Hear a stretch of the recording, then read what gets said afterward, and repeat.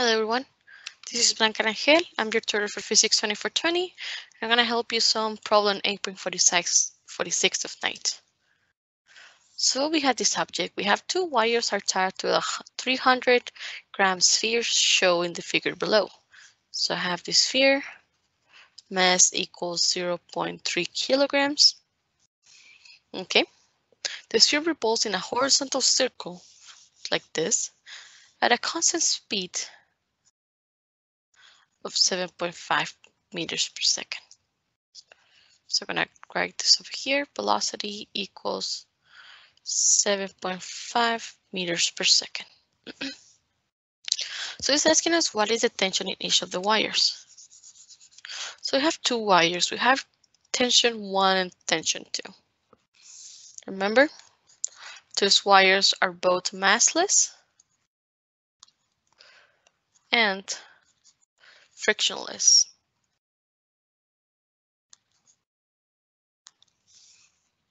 So we're going to have this in consideration.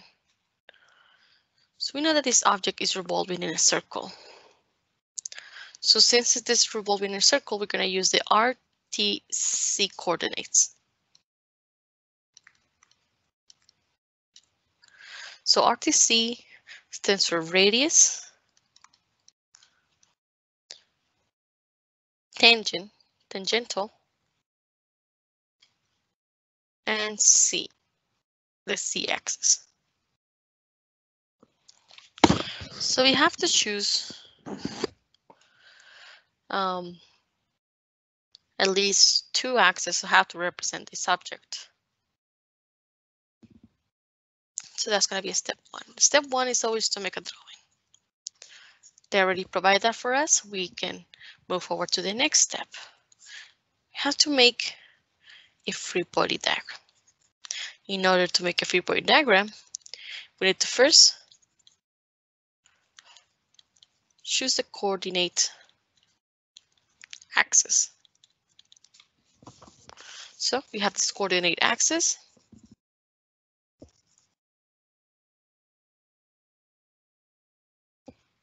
-hmm. So how I want to choose the coordinate axis is I want to choose the object that I need to analyze. So the object that I want to analyze is the sphere. So that's going to be my object.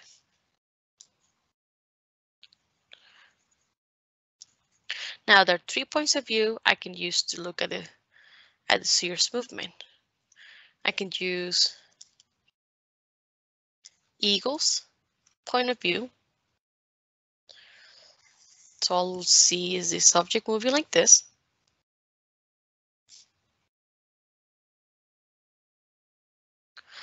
I can use the radial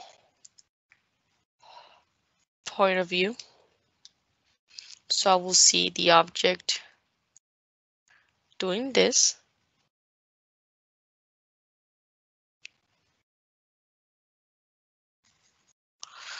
Or I can use the tangential. So I will see the object moving in and out of the page.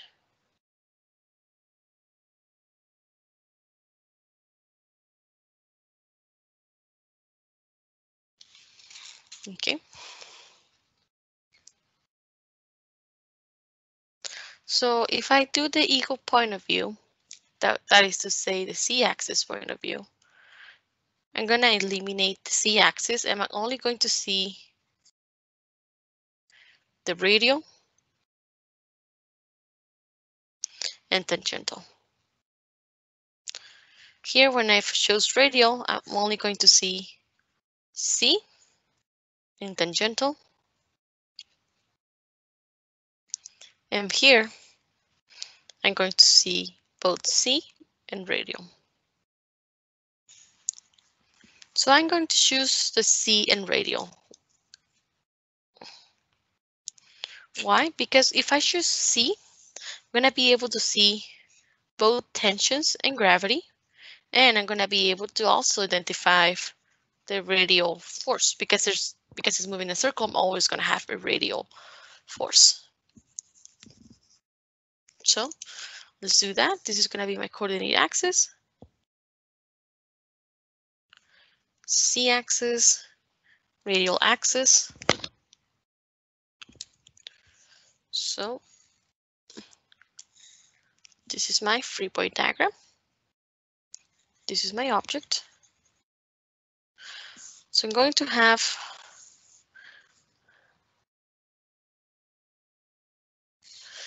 tension one, tension two, and force of gravity. This is all the forces I have on this object acting. This is my free body diagram with the z and radial components.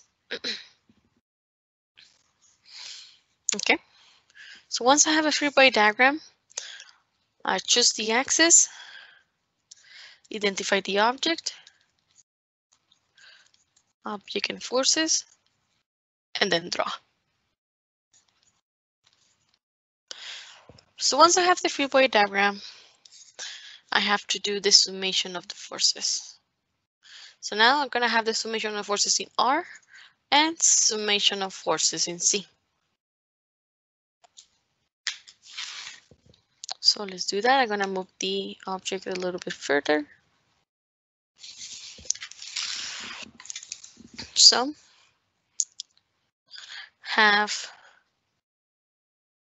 if you notice here as another thing, this is a right triangle. This, this is two right triangles here and here. These are two right triangles. So I'll probably need this angle over here in order to be able to break or tensions into components. So I have the first right triangle have 1.0 and 0.5. This is my angle. So I have the opposite over hypotenuse and hypotenuse. So I can use my SOHCAHTOA so sine of the angle equals opposite over hypotenuse. So the inverse sine inverse of 0.5 equals to 30 degrees. So this is 30 degrees and this is 30 degrees.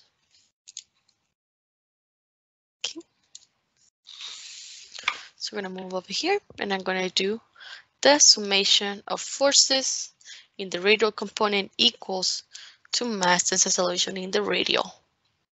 So we know that acceleration in the radial is also acceleration centripetal. And is that is equal to the velocity squared over the radius. So I'm going to have force, the summation of the forces in the radial component equals mass velocity squared over r. So what are these forces acting on the x component?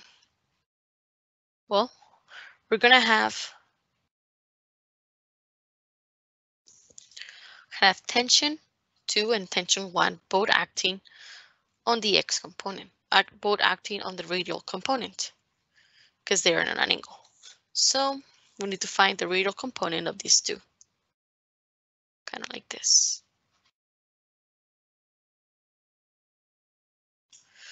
The radial. So for tension one, they're gonna have gonna draw this right triangle again. So I'm going to have tension one, looking for the adjacent side of the angle. So I'm going to use tension one positive. I'm going to make this side my positive. This is my negative. So tension one. Tension one. Cosine of the angle plus tension 2 it's also cosine of the angle equals mass velocity squared over radius. So this is my equation one. Mm -hmm. Equation two, summation of forces in the z component equals to zero. And I'm saying zero because it's moving horizontally. So the forces are balancing out. So I'm going to have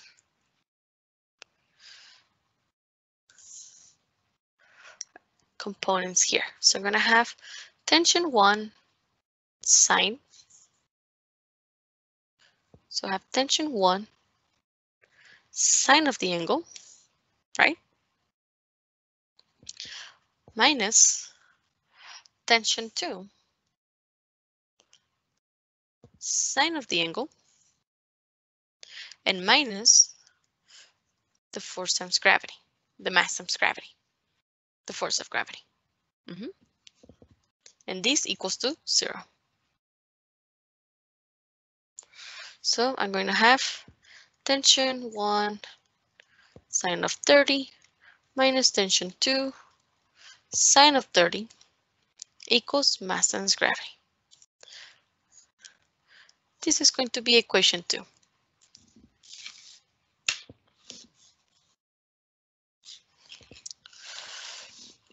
So another thing that we need to know, it's we have the mass, we have the velocity, and we're going to need the radius too. So using 0 0.5 and 1, we can find that. So let's find the radius. So 0 0.5, 1. Okay, so I'm looking now for the adjacent, for the, I already have the angle, so I'm looking for the for the adjacent side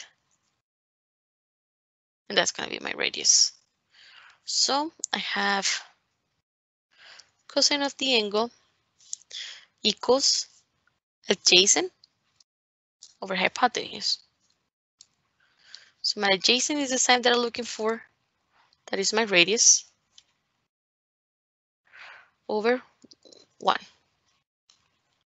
So I have 1 cosine of 30 is going to be my radius.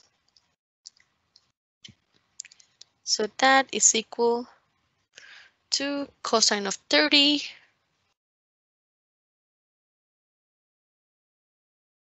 I think that's the square root.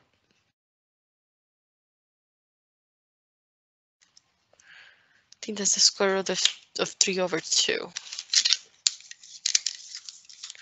Just make sure.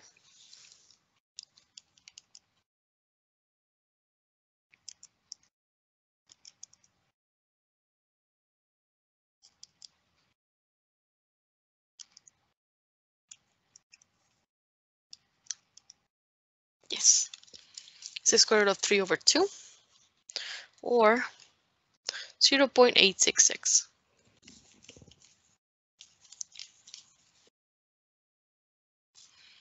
So the radius is the square root of 3 over 2. Mm -hmm. So I have my two equations. I'm going to simplify my two equations again. So I have tension 1 plus tension 2. I'm taking the cosine 30 out because they both have it equals mass velocity squared over radius. So tension 1 plus tension 2 equals mass velocity square over radius cosine 30. Mm -hmm.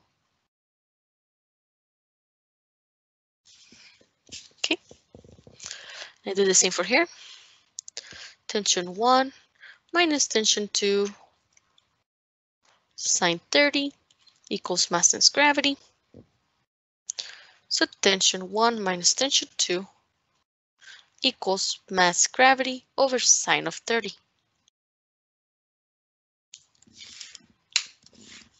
Okay, we're gonna go down a little bit.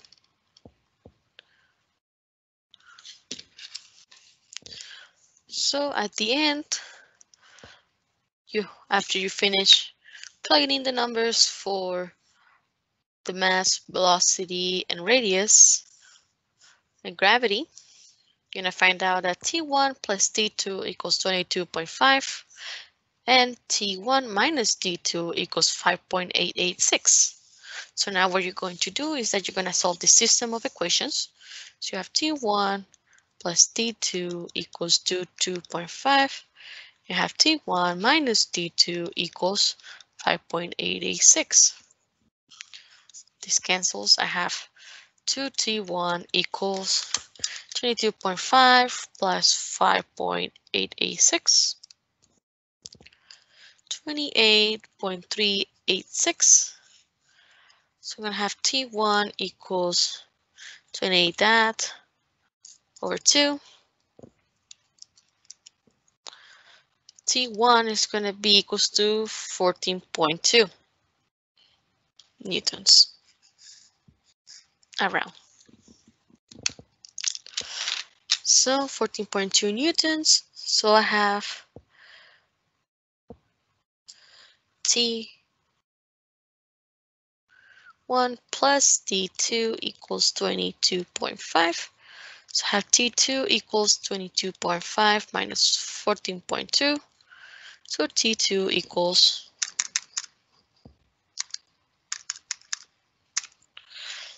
eight point three. So that's it for all. Thank you. Thank you for watching and we'll see you next time.